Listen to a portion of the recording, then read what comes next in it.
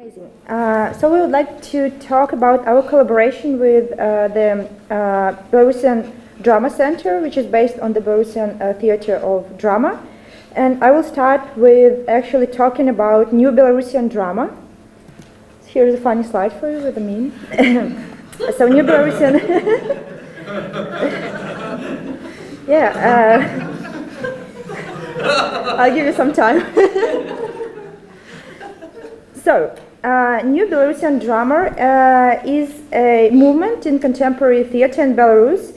Uh, it emerged in early 2000s as a reaction to, um, as a strong reaction to a political situation, a social situation in Belarus, also uh, connected with the dictatorship and the state of country, the uh, degrading state of country. Uh, and the main traits of, of this drama movement, the first one is absurdism and intertextuality. That means that the uh, plays are very often absurd. It has absurd situation in them, and now they also use uh, other texts and cultural references to shape their texts, and they're mostly references from um, popular culture, especially Belarusian popular culture. Uh, the second trait is uh, focusing on degradation. So lots of characters in this place are from very non-privileged backgrounds. They are drug addicts or people who come from, uh, with, for example, mental health problem and stuff. So uh, there's no noble heroes as it was in classical uh, drama, classical Belarusian drama. And the third trait is uh, they are very often are tragic comedies, so they uh, speak about very tragic, very sad events with the use of sarcasm and with humor and uh, comedy. Uh, the next one is uh, they're all of marginal nature, so they use lots of foul language, lots of curse words, and the very controversial situations uh, in them. And the last one, uh, they're actually very connected to our real life, so they use lots of references to the names of the streets in Minsk, for example, or to uh, mass culture, to different TV shows or movies and stuff. Uh, so, why? Why we decided to do this collaboration? Why the theater decided to, to do collaboration with us? Um, okay, the obvious reason for us is we wanted to be as artsy as possible, but there were there were other reasons. Yeah, uh, I'll start with the reasons uh, for the drama center to actually contact us and ask us to collaborate with them. So the first one is their difficulty in actually getting uh, Belarusian new drama to the main stage of big theaters because of the sometimes political or very social nature of this place, of the use of foul language, it's very difficult for them to be seen by many people. So they try to use different approaches, not only uh, making like readings of theaters, uh, doing the readings of theaters or the actually the, uh, the uh, shows, but they try to find other ways to get people familiar with these works. And the second one is um, the desire to be more interactive, which is, I think, a kind of a global trend in theater. So people, uh, theater people look for ways to interact with audiences and to uh, kind of, you know, merge the audience and the actors and stuff. Uh, so, and the next one is actually, this reason came from the authors of the plays that we worked with because they're, they're very modern people and they're keen on um, the idea of exploring the topics in their place or exploring their pl place in different ways. For example, one of the authors uh, used, actually used to be a role player uh, in, his, in his youth, and he was very excited when he learned that we are going to make a LARP out of his play. He was, yeah. Uh, and for us, actually, the reasons why we did this, uh, for us, it was the first one uh, was very obvious we actually enjoy Belarusian new drama. And we want other people to learn about it. We actually didn't know a lot before this about it before this uh, collaboration, but then we got to read lots of plays and we got into this idea that this is a cool thing that very few people know about. So we wanted to actually make other people learn uh, know about it.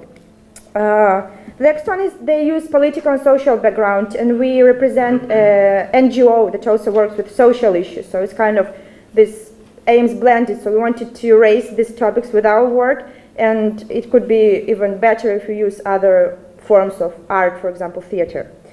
Uh, and the next one is like we used adaptations of not very familiar works, and we were very free to experiment with LARP design without the fear of not meeting expectations of people, for example, who would come to play uh, Romeo and Juliet LARP or something like this. So we had an idea that we could we could actually be free to do whatever we want, and people won't, you know, throw uh, tomatoes at us in the end.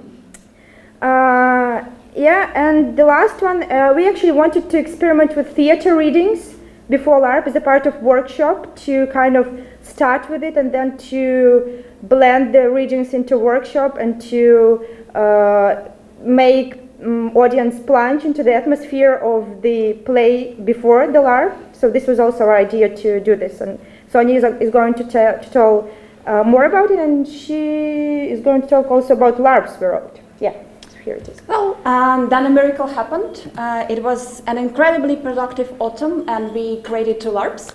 Uh, the first one was based on a play called Sympathy, which is written by Maxim Dosko. Uh, uh, it's an incredibly interesting play about a random guy called Lyoshka who realizes he has a lot of anger inside uh, himself and um, he finds the best way to let it out by uh, getting drunk, provoking conflicts, fights, and beating other people. And in the end, he listens to a very sad, sad song about a dying stray cat, drinks a lot of vodka, cries, drinks a lot of vodka again, uh, breaks down, and decides to become a better person. um, and uh, well, we decided to use our imagination and um, play around with what could happen after and not to center the LARP around the events described in the play. Uh, so we chose a main character who can slightly remind you of Lyoshka but not necessary. And uh, it was a LARP about him uh, and uh, his family getting reunited. Um, well, uh, what else? Oh, there was a second LARP. Um, the second LARP is called Bzik, and it's written by Alexei Makeichik, uh, and it's a LARP. Uh, the play is about people abusing drugs. So uh, we created three acts, three techno parties. After each party, there was a lottery when players were taking papers that had written uh, things, both material and not, on them that their characters lost due to their addiction.